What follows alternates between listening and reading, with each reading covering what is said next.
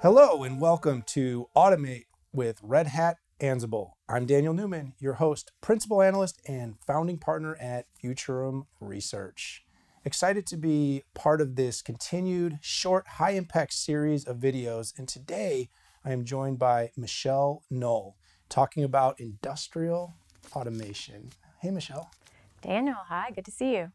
Let's start with a big picture topic. You know, I've worked with you over the years uh, in your past in IT, IT OT. I've followed your work on social media. You've become kind of quite the influencer yourself in the space of IT automation, IoT. Talk to me about the key challenges facing industrial companies.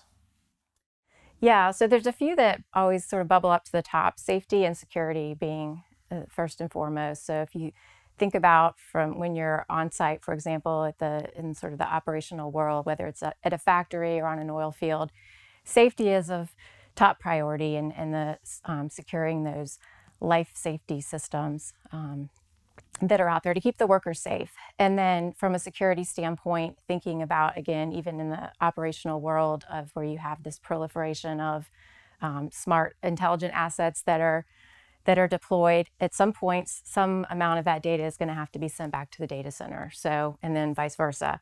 And so that security opens up you know some potential security um, challenges. So that's that's something that that that bubbles up to the top. And then sustainability is another one that, that we hear a lot about. So and really maintaining the government compliance uh, in in that regard. And then also just having a um, consistent and efficient uh, execution of things and in a scalable way. So, I what I mean by that is so if you think about um, in the OT scenarios, for example, where there's often little or no IT staff, right, that are necessarily deployed there, and so when things have to be addressed, being able to, um, you know, do that in a consistent, reliable way, even you know, out out in the operational world, and to scale scalability comes in when, you know, companies know they need to be able to um, add additional use cases as as time goes on. So that's important as well. Yeah, a lot of this is bubbled up because the proliferation of data as a whole. As we've had this series, I've talked to people about different parts, you know, uh, topologies and network scalability, but the overall volume of data seems to be a challenge that all these companies are facing. And of course, as you mentioned in industrial, it's maybe even more significant because the amount of IT support and staff is often less and so there's that coordination with IT, but it's not always as well coordinated. We'll, we'll actually talk about that more later. It feels like um, oil and gas, manufacturing, some of these things have become well talked about. But within these industries, you know, what are some of the use cases for automation that you're seeing? Because of course, they're industrial application of tech, IT, OT. Those are the industries they're facing. What are the applications and the use cases you're seeing within those industries? Yeah, so predictive maintenance maintenance continues to be the top, right? The top one that, and and obviously all around decreasing the downtime and you know um, improving the operational efficiency and things like that, um, and decreasing operational and, and, maintenance costs. So that's a huge one. That's that continues to be. Um, we also see things around the automation of factories um, in the oil and gas world we're seeing a lot um, in the in the safety realm so preventing oil spills things like transporting um, air quality things like that. Yeah it's a lot of them and, and i also like that you mentioned early on probably worth pointing out again is the automation of being able to implement track monitor efforts for esg which these companies are under a lot of pressure to be more active to be more participative and of course to be more measured in the work that they're doing to to drive sustainability goals.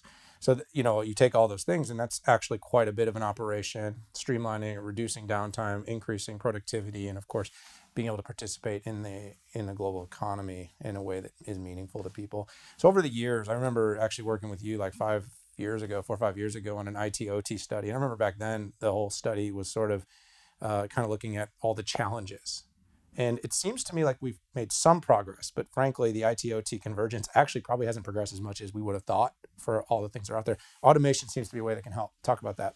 Yeah, so it really is. It's interesting. Um, it's the challenge is still. We we actually Red Hat just recently commissioned a study uh, just a few months ago, and it, that this was a study that was done across hundreds of of companies, um, across all the geos. You know. Um, eh, all of the sort of sub verticals within the industrial realm. And OTIT convergence still is the primary, uh, they're seeing it as the primary um, contributing factor to whether or not they achieve their strategic objectives or not. So it's still a big challenge. Um, a lot of it too is um, you know, the, the OT folks, they're, they're, as you know, are very, their, their world is all around the intelligent assets and, and that's their, their, what they love. And then you have the IT world that's server solution focused. And so being able to have an, this end to end sort of view of all of that um, and, and control of that and line of sight into that, and then applications that can, um, this is where Ansible fits in really well because Ansible Automation Platform is an IT automation tool, but where it's a simple, easy to use tool that can easily be deployed in the operational world. Yeah, so much about being able to do things quicker and remove the risk of, of mistakes, human error in the loop, uh, using automation. And of course, it's not about replacing and displacing, it's about upscaling and up leveling the worker so they can focus on more important things. I always like to make things real. And Therefore, I'm going to ask you about some customer examples. You're working with the customer community closely. Talk a little bit about, you know, a few good examples of customers putting this into into place. Yeah, a great a great example is with Siemens. So, thinking about the the nature of the work they do in the industrial realm, right? Like things like smart grids, medical imaging. There's a lot of very sensitive um, data that needs to be secured and confidential information. And so, um, there, in terms of like their uh, they're set up, they have about 295,000 employees. On top of that, another 100,000 employees at business partners who they work with. And so they've set up these, these public key infrastructures or PKIs really to check the certificates and identity of the public keys, keeping everything secure and safe. Um, and so they're actually using Ansible to automate um, you know, the, the management tasks as well as to improve the communication security. And so they're they're saving money, they're saving time, and then they're also with that and what you alluded to earlier as far as freeing up you know time and resources to focus on innovation and really the the next what maybe is the next generation of industrial technology that that might be coming out yeah no it's a it's a great example and obviously it's a great example of a company that uh, not only is known for being an industrial company that also builds software for industrial iot partnering with uh, red hat ansible it's a great sign of validation so got to wrap this up Michele give me a couple of key takeaways for the audience. Yeah, I would say it's really important, especially kind of connecting all the things we talked about with IT, OT convergence, automation.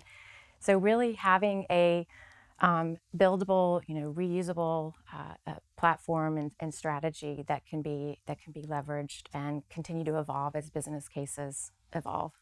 Yeah, the application of automation is certainly going to move companies forward faster. So it's important that they look at that, implement it in their strategy where they can, and of course, scale as it becomes more possible and more understood within the organization. So, Michele, thanks so much for joining me. Thank you, Daniel. Thank you for tuning in to Automate with Red Hat Ansible Automation Platform. Please subscribe to hear and watch all of these episodes. To learn more about Red Hat Ansible, you can follow the company on Twitter at Ansible or visit the website ansible.com. For more on Futurum Research, follow at Futurum Research on Twitter or on the web at futurumresearch.com.